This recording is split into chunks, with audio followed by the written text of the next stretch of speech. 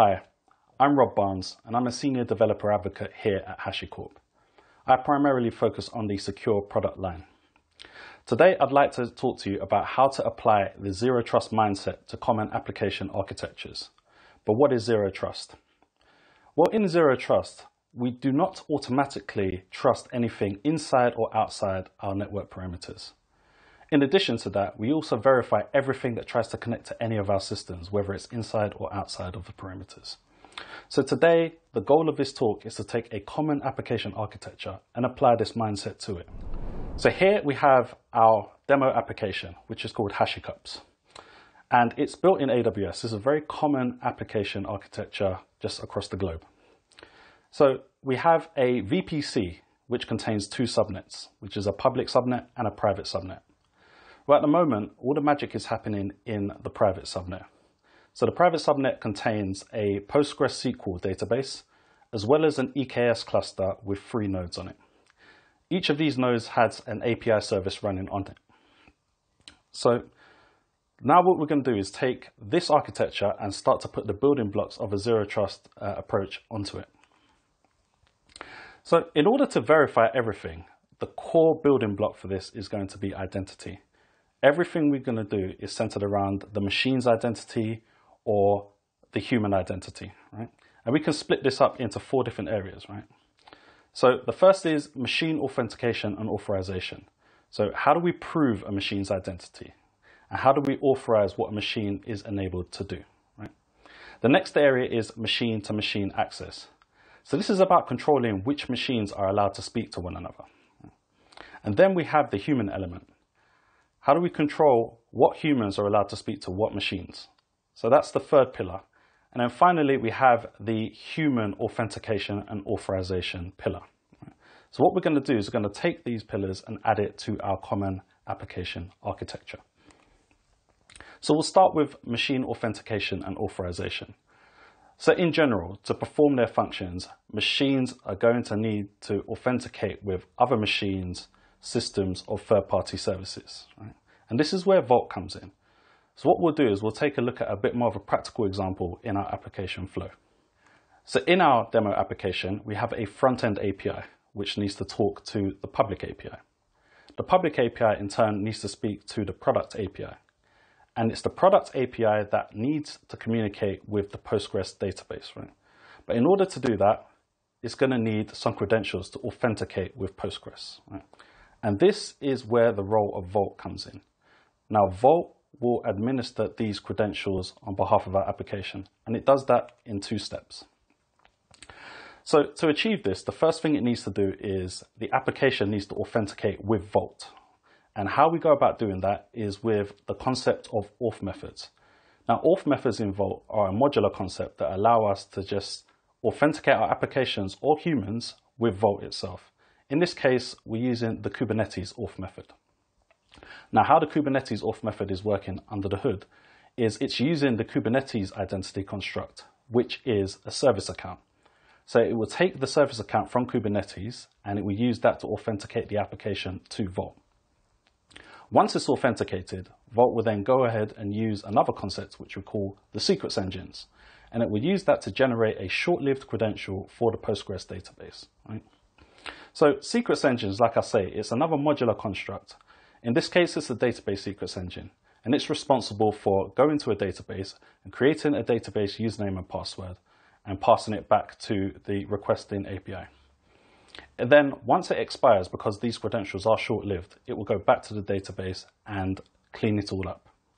So in some cases, secrets engines can also be used for storing static secrets, but that's not really the use case we're discussing today. So you can think of Vault as an identity broker. So if we go back to our application architecture, we can start to add these building blocks in to see how this works, right? So in addition to the AWS architecture we looked at before, we're now bringing in uh, the HCP element, right? So HCP is the HashiCorp Cloud Platform, and this is going to give us a managed Vault cluster, right? So inside our HCP uh, portion of the application architecture, we have this concept of a HVN, which is a HashiCorp virtual network. It's very similar to a, a VPC in AWS. So what we have is peering set up between our HVN and our VPC. And this will enable all of the uh, infrastructure in our private subnets to be able to speak to our Vault cluster, which is in our HVN. Right? So the first thing we're going to need to point out here in this application architecture is because we're using Kubernetes, we're using the Vault sidecar injector, which is pretty much a Vault agent running in a sidecar next to our application. Right? And we'll see why that's important as we look at the workflow. So the first thing we need to do is we need to authenticate to Vault. So the Vault agent is going to take care of that for us by speaking directly to Vault. Right? Once it's authenticated, Vault will then go in and generate a short-lived credential for the Postgres database. Right? And once it's generated that, da that database credential, it will return it to Vault Agent. And Vault Agent will then write this to a file which is accessible by the actual API that needs the credential. Right? So that's the general workflow of how this is going to work. Now, that's just one use case. Depending on what your use cases are, you can have many different auth methods. So we have some examples here. We have OIDC, which is a very common one. We have Okta, LDAP, you name it. We support majority of identity providers for auth methods. And the same with secrets engines, right? Uh, no matter what system you're using, as long as it has an API, if we do not have a secrets engine that we support for that, because of the way that our system is modular, you can go ahead and write your own plugins, right? But it supports a lot of them out of the box, as you can see from this slide. So we explained how we can do the machine authentication and authorization, right? Now we can move into the second pillar of zero trust, right? Which is controlling machine to machine access. So we've talked about how to get credentials into the application. Now we're talking about the communication between two different machines, right? So what we're going to want to do is leverage some kind of identity driven controls here just for the networking of that. So let's go back to our application and look at how that works. So again, we have the same flow here. We have the front end API, the public API, and the product API, right? So the first thing we want to do is control what API is allowed to communicate with the database, right? So in this case, it's the product API, as we pointed out before. Right? We also need to control what API can communicate with the product API. And we only want to allow the public API at the forward slash coffees endpoint to communicate with the products API. So just to kind of bring this all together to explain how Consul is going to help us do this, right? So we're using Consul Connect for the machine to machine access. We have two nodes here, one on the left and one on the right. And each node has some kind of service or application. Right? So we have the web on the left and we have the database on the right. Now, each of them has some kind of proxy uh, running as a sidecar. So we use an Envoy in this example. And Envoy is responsible for communicating with other proxies. So what we're doing here is we're adding in the connect element, which is going to give us a couple of things. It's going to give us mutual TLS, and that's going to authenticate the Envoy proxy, which is acting on behalf of the database. And it's also going to authenticate the uh, proxy for the web application. Right. So that's how we can authenticate the identity of each of these machines. The other thing it gives us is intentions. So intentions can be thought of like a uh, firewall rule base, right? So we can state intentions which say that the web service can in fact communicate with the database, or we could actually explicitly say it cannot just depending on our application architecture. So this is the role of Consul Connect, and this is how we're going to control machine-to-machine -machine access. So now we understand the, con the concept of this, let's add this into our application architecture. So we introduced HCP earlier on for Vault. Um, the other tool that it supports is Consul. So we're going to have a Consul server, which is managed by HashiCorp inside our HCP HVN, right? And what we're going to do is we're, we're going to we have Consul agents as well on every single uh, EKS node. Right. So the first thing that happens is the service registers uh, itself to the Consul agent, and then the agent reports that service back to the Consul server, which is in HCP. Right. So that takes care of the first part of the machine-to-machine -machine access implementation, right? But we have a second area that we need to look at in order to effectively control this. So what we want to do is we want to stretch our mesh security, right? And what I mean by that is we still have uh, components like the database, which are not part of our service mesh. Uh, but how we can go about bringing that into our service mesh is using something called a terminating gateway, right? So this is going to allow infrastructure components that are outside of our mesh to be controlled within our mesh controls, right? As a side note, we have some other things that I'm going to point out, right? So if we need to allow traffic from things outside of our mesh network to communicate with services inside the mesh network, we can use the ingress gateway. And then in cases where we have more distributed application architectures, we can use uh, mesh gateways to connect different meshes together, right? So let's just walk through this in our application. So we're going back to our application architecture here. And the first thing we're going to want to do is we're going to want to register our database as an external service on the service mesh. Then the next thing we're going to want to do is link it to a terminating gateway. So by doing this, now we can control what services are, are enabled to access that Postgres database, right? So this is what makes us expand the mesh security to things that are even outside of our mesh. So this takes care of the machine-to-machine -machine access just using Consul.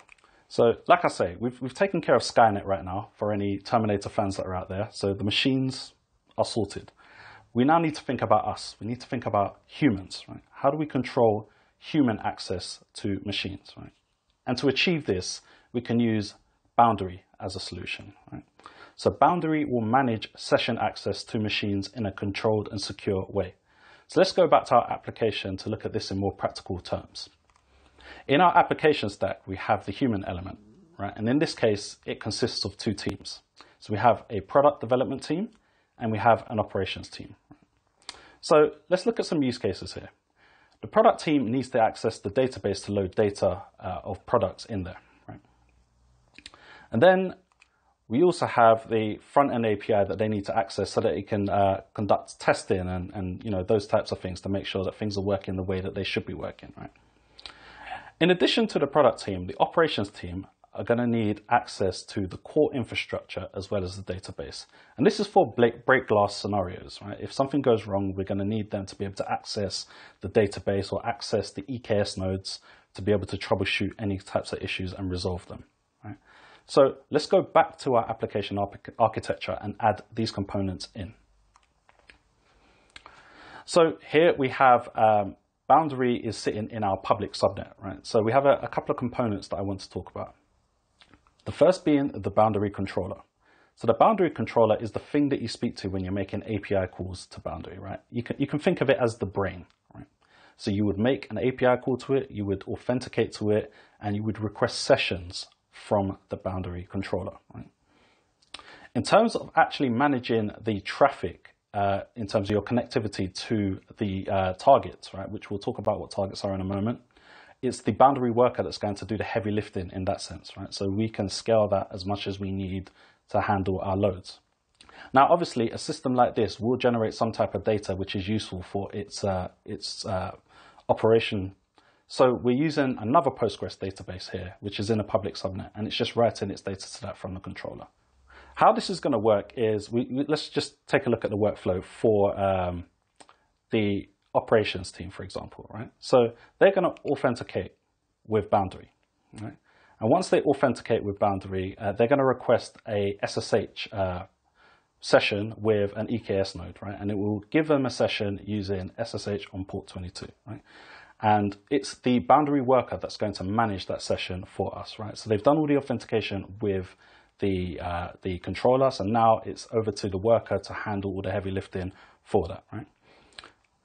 They can also do the same with uh, Postgres, for example. If they need to connect to Postgres, you can have a session which starts up a Postgres SQL session on port 5432, and it will give them direct access into that as long as they are authorized to access that machine, right?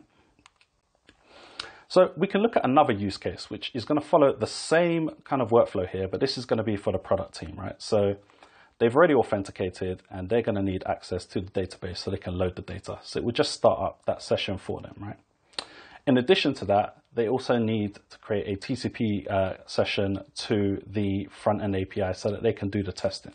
So like I say, Boundary is going to manage all of these things for us.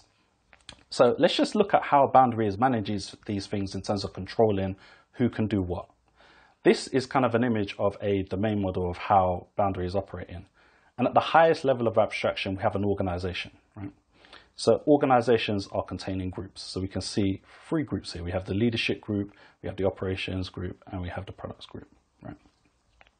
And all of these groups contain uh, users. So groups are just a collection of users. So it's not a new concept to anyone that's worked in identity and access management or had to handle any type of role-based access control system in the past. Right?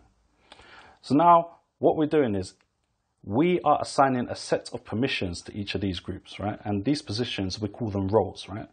So we are saying that a specific group is allowed to access a specific host catalog, right? And a host catalog is just a collection of targets. So when we think about targets, we can think about things like our EKS nodes, right? So if an operations engineer needs to connect to an EKS node, it's essentially a target that it's connecting to. So it goes to the host catalog to do that. So that's the kind of identity and access management model of how it's working with uh, Boundary, right? If we look to the right as well, uh, we have also the product team, and now their access permissions are a little bit different. They also need to access PostgreSQL, um, but like we've mentioned before, they need to access the front-end API on port 80 as well. So they will have the permissions to do that too. And just as a side note, we also have a leadership group, uh, which is read-only, so they don't have any direct session access to any of these things. They just need to be aware of what's going on. So now we can start to bring all of these controls together into a, a, a, much bigger architecture diagram, right? So we started off simple and bit by bit, we've started adding building blocks to this diagram, right? So we can see we've added Vault, uh, which is uh, being managed for us by HashiCorp using HCP. Um, and we have the Vault Sidecar injector running on all of our EKS nodes. Right? And that's how we're controlling the uh, machine authentication authorization. And then we, we've added Consul into the mix, right? So again, we're using HCP to manage that for us, so we don't have to take care of the back end of Consul. And so we've added that into our application architecture along with Consul agents on each of the EKS nodes as well, right? And then what we just talked about is boundary, right? So this is living in our public subnet. So this is how us as humans is, are going to connect to our private infrastructure, right? So that's controlling the human to machine access. So the final piece of the glue here is single sign-on, right? So to allow us to unify our identity providers, provide a smooth authentication workflow. As an example, Vault, Boundary, and Consul all support OIDC as an auth method, right? So that allows us to just bring about so, so many different workflows that work for our organizations, right? So we can take whatever auth, uh, identity provider we have, and we can use OIDC to provide that authentication workflow, right? And because OIDC is using uh, JWT under the hood, it's a similar case for applications as well. So you can provide a unified way of doing things, right? So just to summarize, as we're coming towards the end of this presentation, we've taken a simple but common application architecture. Right?